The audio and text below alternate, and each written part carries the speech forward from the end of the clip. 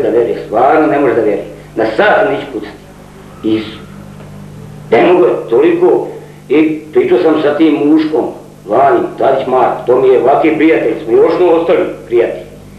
I tako ja njemu kažem, da ti veruješ da sam ja stvarno, da pucao mi na sahranu, to, to se ni u jednoj zemlji nije desilo da se puca na sahranu. I da mi idemo iz čista mira. Niko mi ništa nije zašao učinio i da idem pucat. A i sad kad se to prošlo sad sam doživio, opet ne pucao na sahranu. Evo sad ne pucao na sahranu. One, on kaže, pa ja sam čuo da ste vi pucali na groblje, tamo na tu raku, na šta ja znam, preko ti možeš to shvatiti, poznaš me dobro. Pa ja kao ne verujem ovo. Ja ne verujem to, ja bih rekao, to sam čuo da taj narod genocidan, ja verujem u to. To je sigurno tako. I to pomirenja nema. Jedino može rat da bude. Pa ako oni pobjede, nek nas rade s nama što će. A ako mi, onda ćemo i njima. Samo to, ovo političari što se dogovaraju, bit će bratstvo, ne mora dobro, neće biti kao suživot to.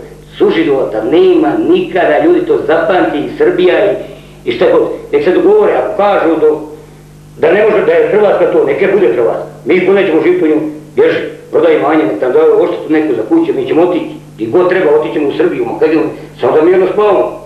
Jer mi nismo, stvarno nismo toliko, kako bi ja rekao, nismo toliko koliko su oni, oni su, to je neka, šta ja znam, ona, po tradiciji, neka mržnja prema Srbima.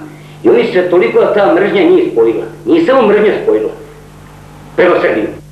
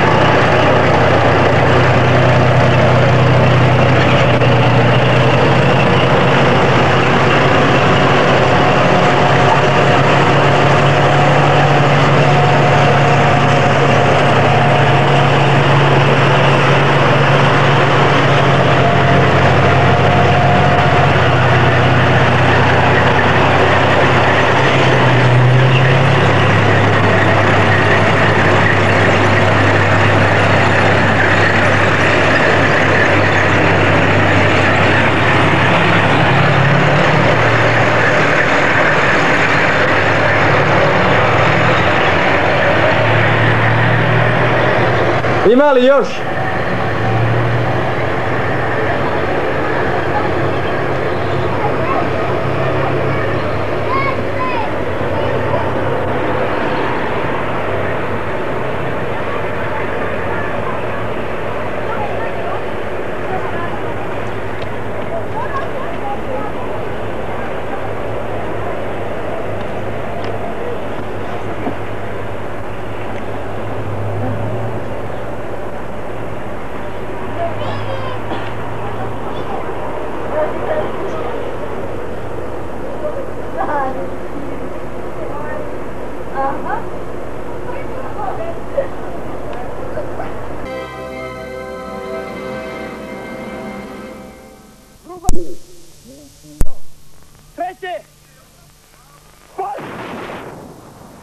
Im Moment ist sein Volk noch damit beschäftigt, das Land zu zerstören und sich gegenseitig umzubringen.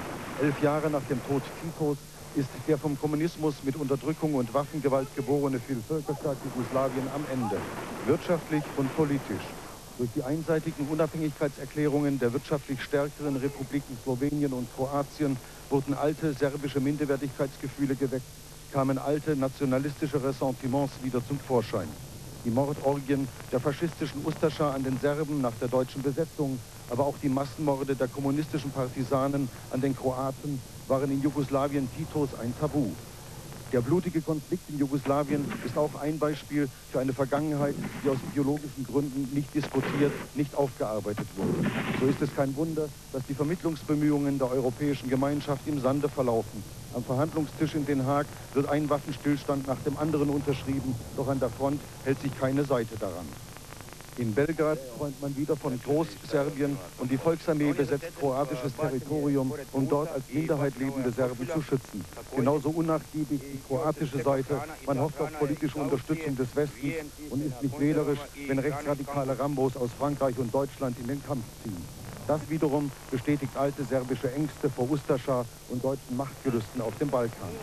Das ist Jankovci, ein 2000 Einwohnerdorf zwischen Vukovar und Vinkovci beziehungsweise das, was davon noch übrig ist. Der Ort liegt in Kroatien und zu etwa gleichen Teilen wohnten hier Serben und Kroaten. Jetzt kampiert hier die Volksarmee und die kroatischen Bauernfamilien sind geflüchtet. Kuva? A, super prva liga, Bundesliga. Prva liga. Die im Ort gebliebenen alten Frauen sind verzweifelt.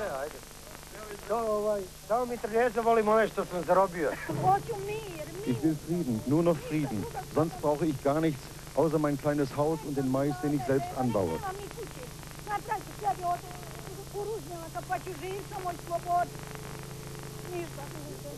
Glauben Sie, der Frieden kommt? Wenn die Armee hier bleibt, ja. Wenn sie abzieht, geht es sicher wieder los.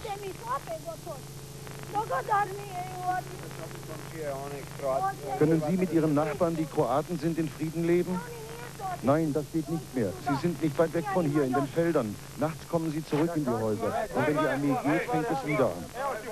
Gespalten ist auch die Meinung bei den Soldaten. Viele von ihnen sind Reservisten, die jetzt an die Front mussten.